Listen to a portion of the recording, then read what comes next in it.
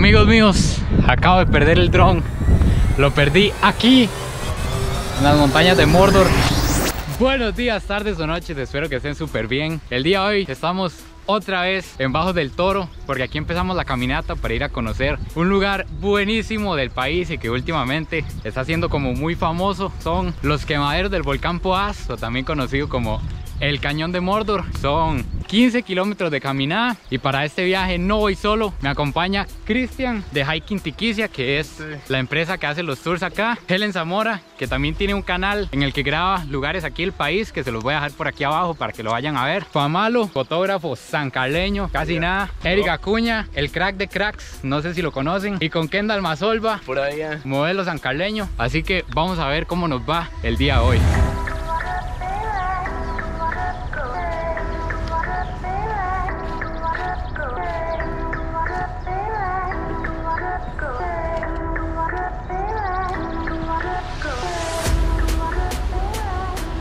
Amigos, aquí llegamos a la primera parada que está como a media hora de camino, que son unos toboganes de piedra con agua transparente que están chivísimas.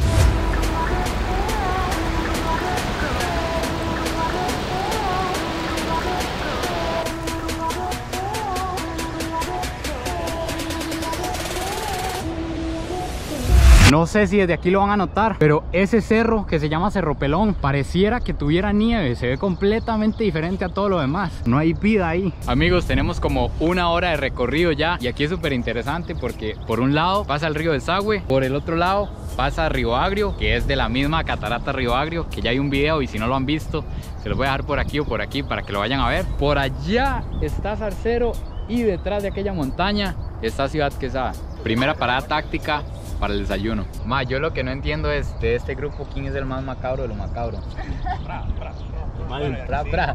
hombre. Ya en este momento entramos al Parque Nacional Volcán Poás. La caminada es media media, se camina mucho por finca y senderos planos y aquí se pone un poquito más complicado y estamos como a 30 minutos de llegar a Mordor.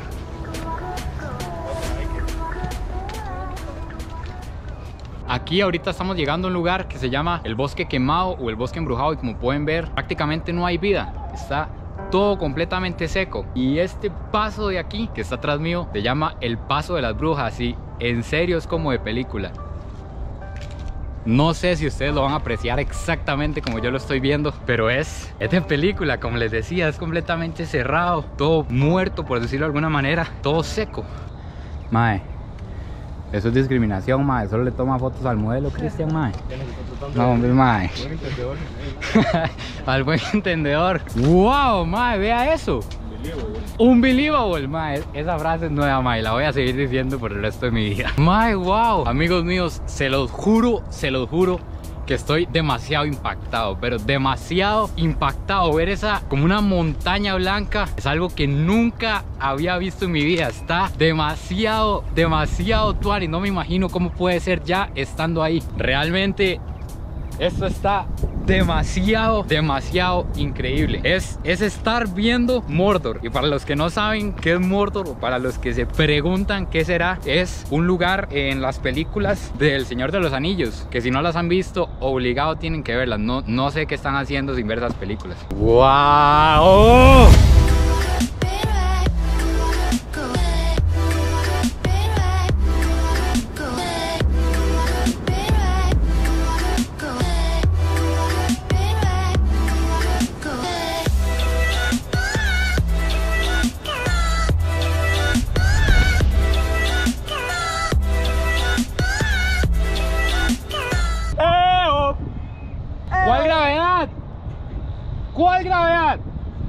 sé si lo van a escuchar, pero ahí. De hecho, es el eco más exagerado que he escuchado.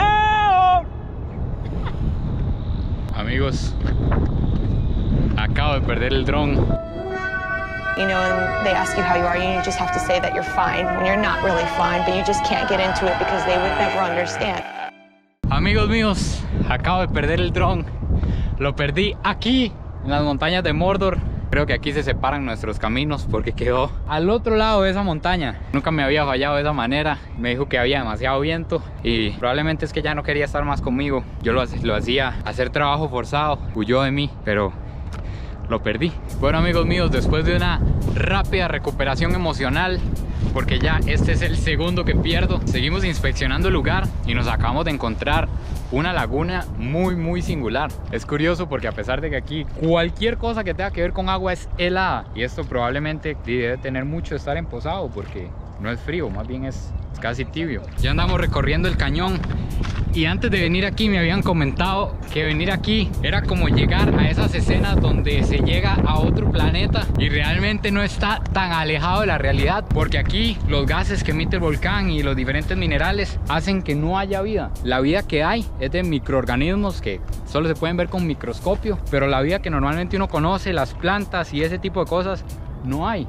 Está completamente todo muerto y además es una piedra blanca. Casi casi pareciera como que si es nieve, como que si eso es una montaña cubierta de nieve. Ya empezamos a bajar el cañón y nos encontramos con la primera poza que ya la inauguró el hombre. Es tan transparente que a pesar de que es hondísima se ve el fondo. Vamos a probarla, ni siquiera la voy a tocar porque si la toco no me meto, así que simplemente nos vamos a mandar.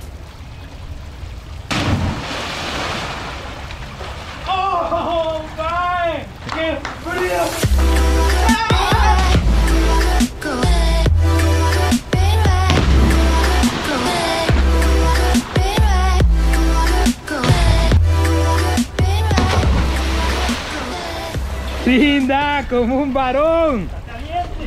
Ya, ahora sí llegamos a la cascada más famosa del Cañón de Mordor, que es esta que está aquí. Ya el hombre la inauguró. Está igual de fría que la poza de arriba y está lindísima. Y ya llegó una de las partes más importantes del día, el almuerzo y la fuerte cumbia, por supuesto. Kendall se botó con unas tortillitas.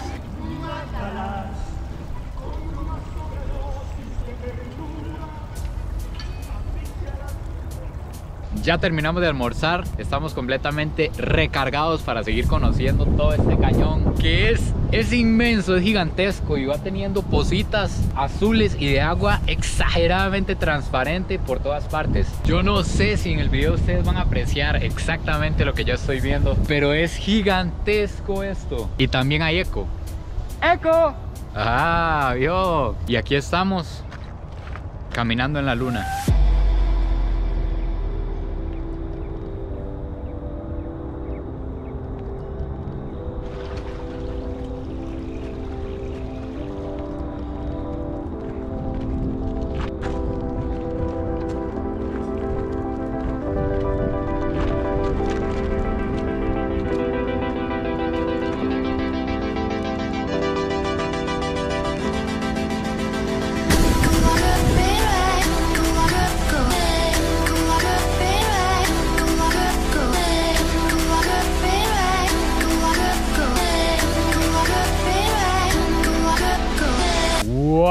la catarata que nos encontramos dentro del cañón.